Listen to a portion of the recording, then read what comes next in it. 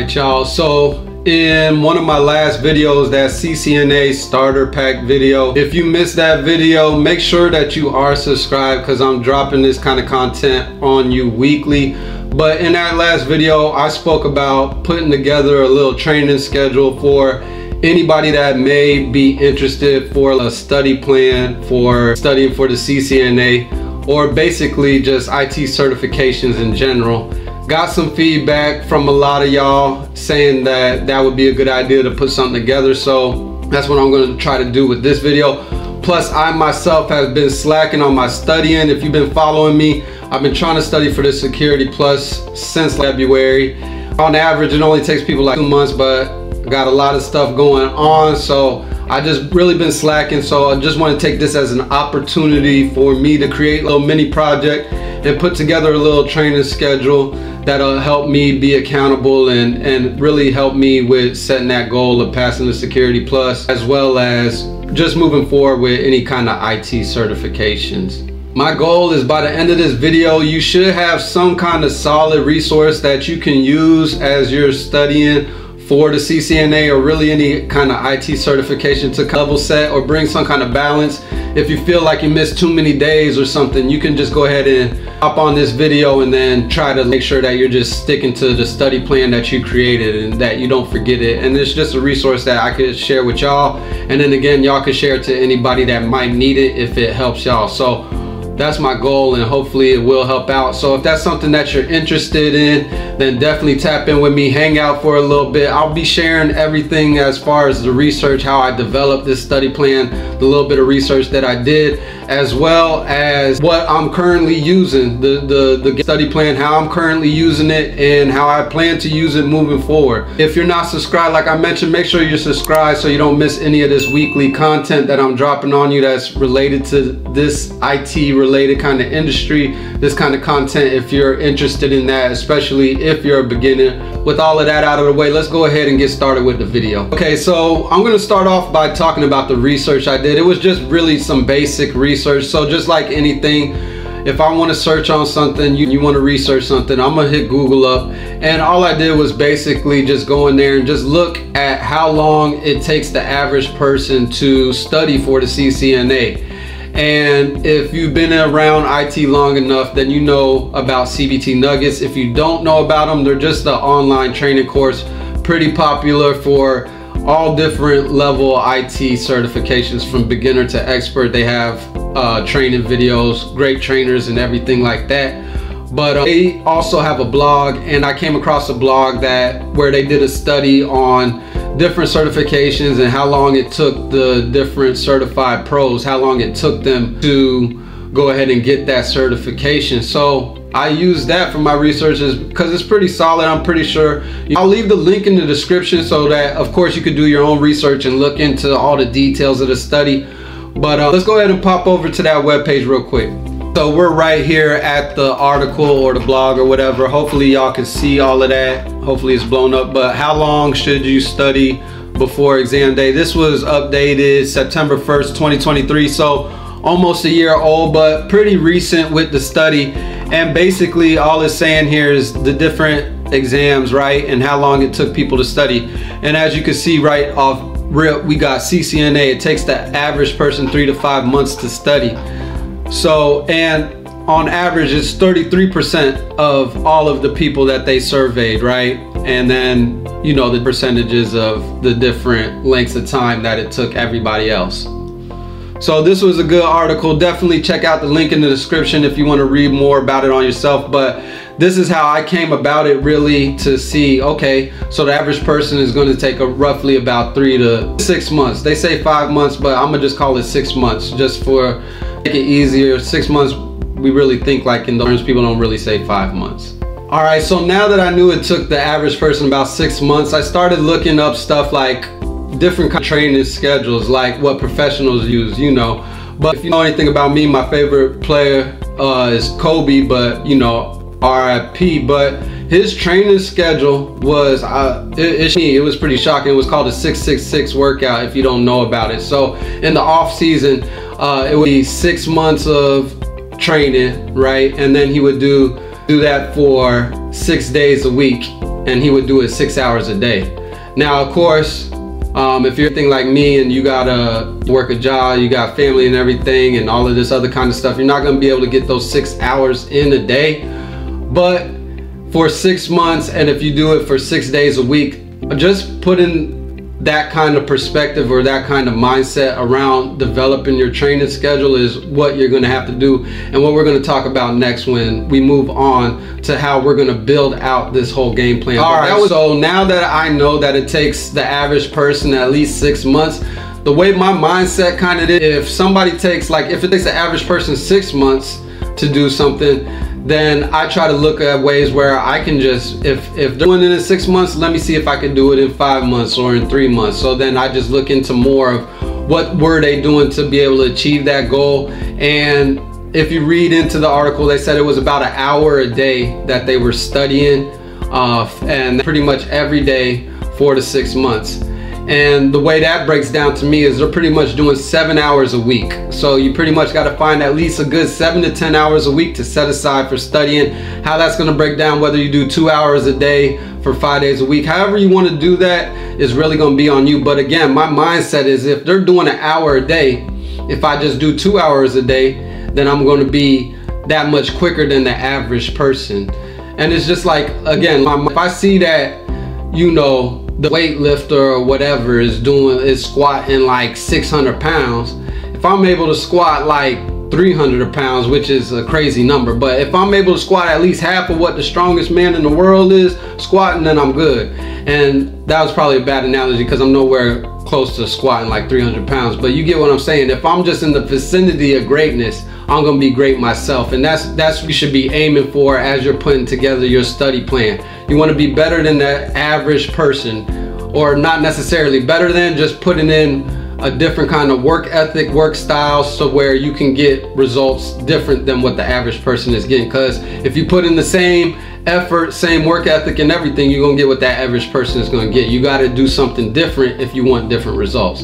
Okay, moving on to our first thing that we're gonna talk about right now as far as how we're gonna put together the game plan. So we got our research done. We know that it takes six months and on average, the person is studying at least one hour per day or seven hours per week on average. That's what they're doing. So what you wanna do with any goal or what I do with any goal is part of what you have to do when you get a goal. You just got to break it down. I'm sure you've heard this before, breaking it down into manageable chunks.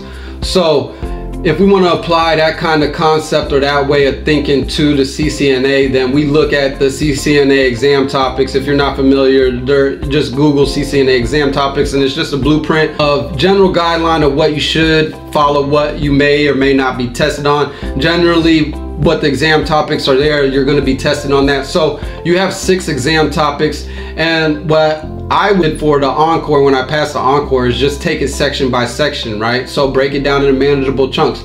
So if we got six sections and we got six months to go through it, you already know what time it is. You got one month each section. So however you got to break that down, there's different topics and subtopics in each of the exam topics, but roughly you got four weeks to get through each topic and then don't complete the topic until you move on to the next one. So that's how kind of how you have to structure it. And even more importantly, another perspective or another way that you can look at it at this is since we're breaking it down to do one month at a time, we're gonna do each of those exam sessions. It's still kind of a big way to deal with a goal because now we have this one month goal of we're gonna get through this section in one month. So we made the six month goal easier by breaking it down in one month. Now to make the one month goal easier, you guessed it, you're gonna have to break it down into weeks and then the weeks you're gonna have to break down the days days and hours and this is building out your training schedule this is how you're gonna build out the training schedule this is how you not gonna be uh, forgetting what you're training about or not knowing what, what to need to train you're gonna have all of this already built out and again, uh, this is just another perspective of breaking down something in manageable chunks. This is called time management. This is another way to define time management. I never had a definition for time management, but this is a very easy definition for you if you don't know. Basically, time management is you're, you're gonna plan out your whole year. And once you plan out that whole year, you plan out the months, then down to the weeks, down to the days, down to the hours. You can do it down to the minutes if you want to be that aware of what you're doing and what you're trying to accomplish. But again, that's on the extreme side. But again, all you're trying to do is break something down into manageable chunks. And then just by doing that, you're naturally going to be using a little bit of time management. And when you break down everything in manageable chunks, that's just one of the principles also, if you didn't know, that's gonna be one of the principles to defeat um, procrastination. How you define procrastination, right, is just you not taking action, right? But if you break something down into manageable chunks, yeah, we can't do something in six months, we can't do something in one month, but we can, for this hour, sit down and record some content like I'm doing, or we could sit down for an hour and focus ourselves to learn about STP or whatever we're trying to learn about. We could focus for an hour. And if we can't focus for an hour, at least we can get 30 minutes. We can't get 30 minutes, 15 minutes, five minutes, to whatever you can get into where you can build up and then start adding to that and developing that skill of both time management and breaking stuff down in manageable chunks. And then we're gonna be able to overcome stuff like procrastination, which keeps us ultimately from reaching our goals. All right, up next, so now, again, so just to recap, we already went over, okay, we need six months to do this thing. We went over breaking it down piece by piece. Now we're at a level two, how are we gonna do our training? Should we do hands-on training? Should we do practices and should we do a lecture? There's many different resources that we can use for training. So for training, what I usually do is I wanna do two hours a day and for the first hour of the day and this is going to be in the morning and this is just how I'm built um people are not morning people or night people whatever the case may be but whenever you're most alert or you can do something cognitively challenging I try to do that in the morning time that's when I have the most energy you got to be aware when you have the most energy you don't want to be trying to study or do something important after you just had a long day at work and you had to take care of the kids and you had to blase squad, whatever you had to do, right? You don't want to do something then that's super important. So at the beginning, when I have a lot of energy, I'm gonna do something super important. And like maybe I'm listen to a lecture and, and, really be locked in and take notes. Or I'm gonna be reviewing my notes, going over all of my notes, or I'm gonna be doing practice exams. These are things that are all cognitively challenging to me, that'll really stimulate my brain and really get me energized and really lock in that information. You're gonna do that for one hour out of the day. And then for your second hour out of the day, then you can do the hands-on training like the lab and stuff. Because with labs, you're gonna have to be doing a lot of configuring the IP addresses and configure a routing protocol, a lot of copy and pasting and stuff before you're actually troubleshooting the lab. You're really building out the lab more than you are troubleshooting in my experience. A lot of time is spent building out these labs that aren't already built out. That's where a lot of your time is spent. So on that second hour, go ahead and just do some admin stuff. Configure the IP address. Get your config all together. Uh, uh, config, uh, build it, script it out. You're gonna have to do this again in the real world. I've mentioned this before, but just get used to configuring equipment and everything. I know you're not gonna wanna do it, but just do it anyways because you're gonna have to. This is what you signed up for, so you should just get that out of your head that you don't want to do it. But the main point is do the, do the lazy stuff at the end of the day where you don't need that much brain power, that doesn't require that much brain power. And again, and I just want to mention, this is just about training, specifically training. And again, we want to do two hours a day. If the average person is doing one hour a day and we're doing two hours a day, guess what? We're going to cut the time in half that it takes us to get to our goal. Maybe it may take us three months or maybe it may take us four months because we're putting in that extra work and we're really getting the most value out of it by following these kind of guidelines and our study plan. Finally, and this probably should have been the first thing that I mentioned because I can't stress this enough. This is where I seen the most gains, the most important thing. And if you stuck around till now in this video, congratulate yourself because this is gonna be a major key into passing your certifications. And this is all tracking your progress. You need to be responsible, hold yourself accountable, track your progress. You could do this by joining online communities and, get to study groups, um, maybe locally, you know, do meetups locally with local study groups. This really uh, expands your mind you get different perspectives of what people have been studying and you guys are working together now it's a mastermind right and if you don't know what a mastermind is it's basically uh, minds working together toward the same goal. And if you got that much brain power going to the same goal, that goal is going to be murder. You just uh, murk it, and then just having that person to call on when you know when they, you slacking or when when and if they slacking, you can tell them to tighten up. But you need to also that's good to have all those people around you, the mastermind and all that, but hold yourself accountable. Get a journal. It might sound corny to, you know, dear diary, today I, but bump that. Get a journal, get in there and track your progress. Here's a journal prompt that you can use to track your progress. Three things that I learned today. So that's just gonna hold you accountable. And again, this journaling, I'm gonna do this at nighttime. It's not gonna be something that I, have a lot of brain power for it. and you're just gonna write three wins that you had, three things that I learned today. Just like if you got kids like me, you ask the kids what you learned from school, you hold yourself accountable. What did you learn about STP? Give yourself three facts. Develop your own journal prompts that will hold you accountable to track your progress. That way, after each month, you could be like, okay, this is everything that I've learned. Let me go over this. Let me go over the notes that I talked about STP. Let me make sure I'm solid on that. Let me brush up on this before the month is over. That way, you're tracking your progress. It's really gonna hold you accountable and should really boost you right toward that goal of getting that CCNA or whatever kind of IT certification you're going after. All right, folks, I really hope y'all enjoyed the video. I enjoyed creating the content, researching it. Again, hopefully this is gonna be a valuable resource for us in the future if we need to level set and say, hey, what's our game plan and everything. Remember what you wanna do, just to recap it, right? You wanna break down any kind of goal into manageable chunks, right? And then really use that time management once we break it down into manageable chunks, like those six months, okay, what we can do for month one, and then what we're gonna do for the week, the day.